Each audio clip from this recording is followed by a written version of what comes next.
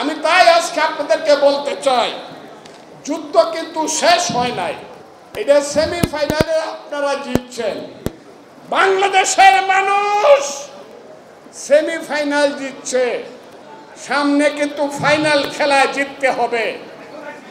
এই ওয়ান ডেতে one day ক্রিকেটে আপনারা দেখেছেন এইবার ওয়ার্ল্ড কাপে ইন্ডিয়া সব খেলা জিতছে, কিন্তু ফাইনালে গিয়ে অস্ট্রেলিয়ার কাছে হাইরে গেছে, যেটা নিয়ে আমাদের দেশে মিছিল হয়েছে। ফাইনাল খেলায় হারা যাবে না। জনগণ ফাইনাল খেলায় হারতে পারে না। সঠিক নেতৃত্ব তৈরি করেন। এই আওয়ামী লীগের হারামজাদাদের মতো চোর গন্ডা বুধবাস লুটেরা যারা আছে, তাদেরকে চিহ্নিত করেন। এমনকি আমার দলের হলেও তাকে চিহ্নিত করছে। লুটপাট চলবে না, দুর্নীতি চলবে না, অত্যাচার চলবে না। জনগণের শাসন আসতে হবে, জনগণের দেশ হতে হবে। সেই জনগণের দেশ করার জন্য রক্তের সাগর সৃষ্টি করেছে আমার সন্তানেরা। সেই রক্তের সাগরে আমি যেমন বারবার বলেছি আজকেও বলছি, সেই রক্তের সাগরে শেখ হাসিনার সিংহাসন ডুবে গেছে। আমার শেষ কথা ডিস্টার্ব করবেন না, শেষ কথা। শেখ হাসিনা কোথায়? কোথায় আছে শেখ হাসিনা? দিল্লি। বাংলা কোনোদিন দিল্লিকে মানে নাই।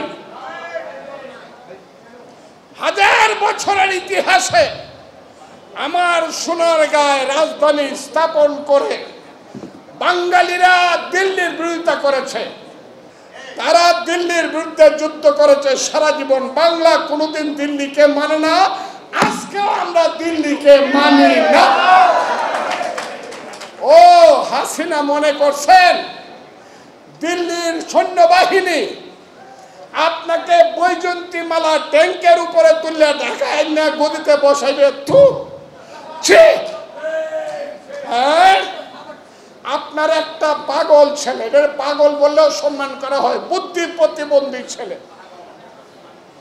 তার নাম সজীব, সকালে কি কয়, বিকালে মনে থাকে না?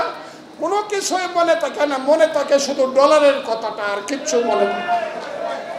ওই হারামজাদার কথায়, ছেলের কথায় মনে করতেছেন ট্যাঙ্কে চড়ে ডাকে আসবেন। আরে পাঁচ পাক মালদ্বীপের লোক আপনাকে ডেট দেয়া কইছে, তোমার সৈন্য নেও। মোদি ভুলে দেন না, আমরা কিন্তু আঠারো কোটি মানুষের দেশ, এখনও আমরা মুক্তিযোদ্ধারা জীবিত। কাজেই আমার শেষ কথা হলো, পিন্ডির পিন্ডির গোলামি থেকে মুক্ত, মুক্তি পেয়েছি, দিল্লির কৃতদাস হওয়ার জন্য নয়। হাসিনা কৃতদাসী হতে পারে উবায়দুল কাদেররা হতে পারে। কিন্তু আমরা বাঙালির সন্তান, বাংলাদেশের মানুষ। আমরা কোনোদিন অসত্যের কাছে মাথা নত করব না।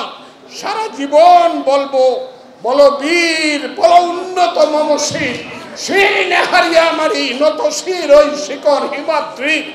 বলো বীর, বলো মহাবিশ্বের মহাকাশ ছাড়ি চন্দ্র সূর্য গ্রহ তারা ফরি বলবীর উঠিয়াছি আমি মহাবিশ্ব বিশ্ববিদাত্রী। বল বীর চির উন্নত মমশীর খুদা হাফেজ।